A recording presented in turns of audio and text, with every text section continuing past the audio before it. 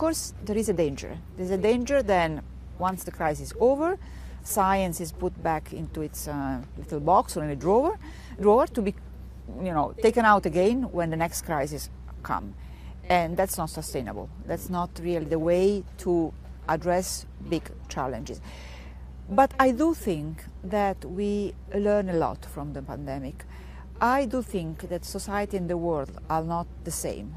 Uh, I do hope that we will not go back to the old normal, but we will, uh, we will develop a new normality where the very good things that we learn from the pandemic, collaboration, uh, um, service, uh, support to each other, um, will really remain with us. And uh, this good lesson will help us also to address uh, any other future But already, challenge. Fabiola, uh, we, we saw the debate about vaccine waivers and people very precious about their intellectual property, their national intellectual property, their corporate international uh, intellectual property as well. I, I fear that on territorial lines, rivalries will uh, usurp that collaboration.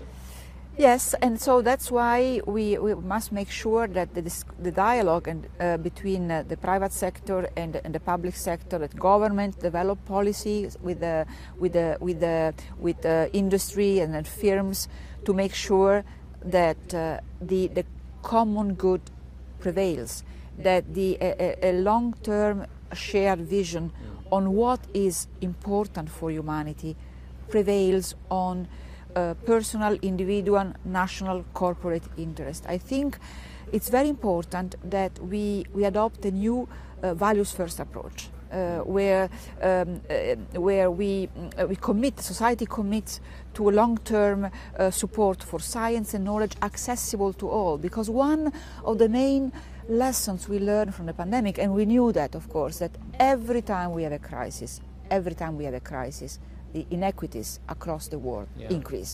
The gap between developed and developing countries, the gap uh, between those uh, with and those without access to education, technology, healthcare, etc.